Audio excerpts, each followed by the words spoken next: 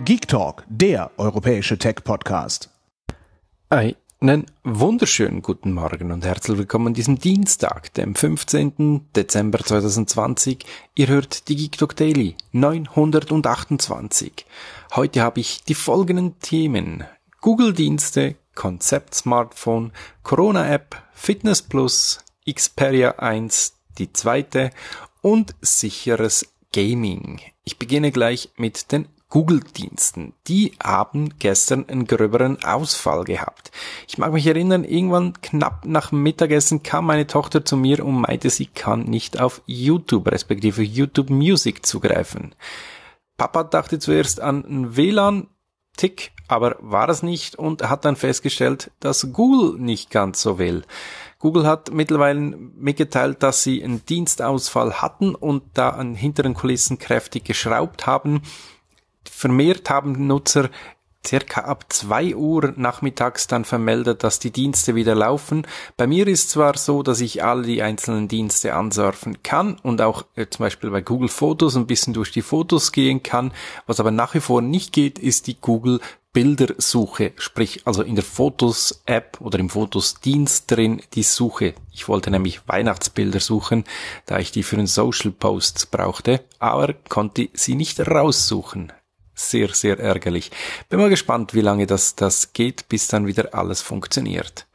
Oppo soll oder will oder hat anscheinend gestern neue Geräte gezeigt, zumindest Konzeptgeräte. Ein Fall-Smartphone soll das gewesen sein, das mit dem Designstart, äh, genau, Designstudio Nendo zusammengearbeitet, ausgearbeitet wurde, ein japanisches Designstudio übrigens, und da hat man gezeigt, wie man das Telefon mehrfach falten kann. Nicht nur einmal zuklappen, sondern gleich zweimal ums Eck, also so quasi in drei Teilbereiche.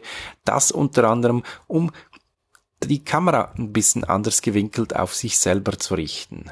Klingt interessant, klingt spannend. Generell ist alles in dem Bereich natürlich erst dann interessant, wenn es auch bezahlbar für jedermann wird und es auch einen wirklichen Nutzen bietet. Dann gab es gestern Abend eine große Armada an Updates. Zum einen gab es Big Sur Updates, also für die Mac-Geschichten. Dann gab es iOS und iPhone, ähm, also iOS und iPad OS Updates.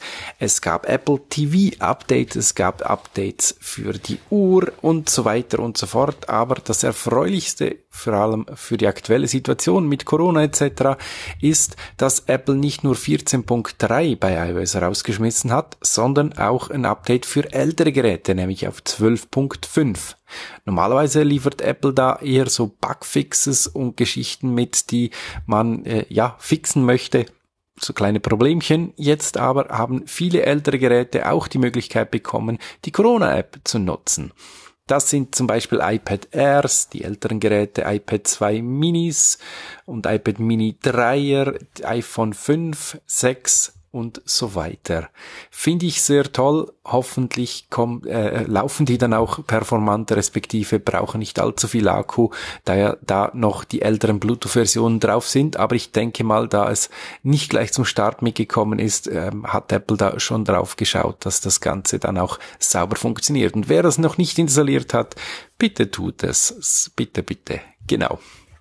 Apple Fitness Plus ist gestern Abend auch gestartet mit den ganzen Updates, die ich vorberichtet habe.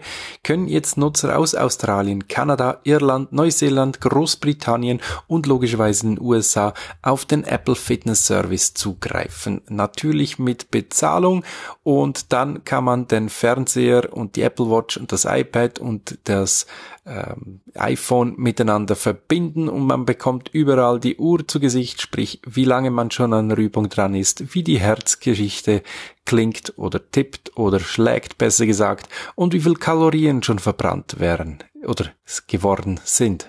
Sind. Deutsch. Ja, ihr wisst.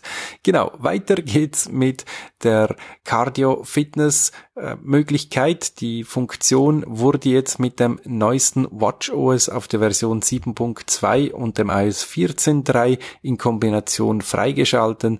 Wer also eine aktuellere Apple Watch hat, kann jetzt darauf zurückgreifen. Dann zu fast letzt kommt noch Sony Xperia. Ich habe euch ja vor kurzem mal erzählt, wann die einzelnen Sony Smartphones Updates bekommen. Bei Sony ist jetzt gestartet mit dem Xperia 1 der zweiten Version. Das hat nämlich jetzt ein Update auf Android 11 ausgerollt bekommen. Ich muss meins gleich mal neu starten und dann bin ich gespannt auf das Update. Weiter geht's mit sicheren Gaming. Schön, die drei Großen haben sich geeinigt, nämlich Sony, Microsoft und Nintendo. Die werden in Zukunft zusammenarbeiten, um die Gaming Experience zu verbessern, so dass nicht nur Kinder sicherer und einfacher spielen können, auch Erwachsene, dass das Ganze sicherer abläuft etc. Dazu haben sie sich zusammengetan, möchten da in die Technologie investieren und ich bin mal gespannt, was dabei rauskommt und wie das Ganze sich dann schlussendlich auswirken wird. Zu guter Letzt habe ich euch noch drei Videotipps aus dem eigenen Kanal. Zum einen ging in der letzten Woche ja mein Google Stadia Video endlich in der Schweiz und Österreich online. Dann habt ihr das Video zu den Google Pixel Buds, den In-Ear-Kopfhörer aus Google mit dem Knacks. Leider nicht ganz so zufrieden, aber das könnte Google noch ändern. Und mein Video zu der Fritzbox 6850 LTE die Box, die jetzt neu auch in der Schweiz erhältlich ist. Somit anschauen, wer noch nicht hat und gerne noch mag. Besten Dank an der Stelle, euch einen schönen und erfolgreichen Tag. Und wenn ihr mögt, hören wir uns morgen wieder. Bis dann, euer Pogipsi. Tschüss. Hört mehr Geek Talk.